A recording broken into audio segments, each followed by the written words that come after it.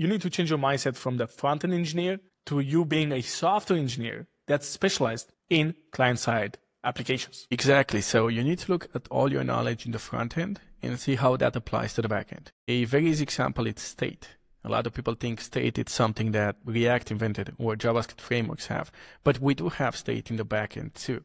We just manage it differently. Actually, the database, it's a manifestation of state in a program. Whatever you have in memory when you execute an endpoint, that's also state.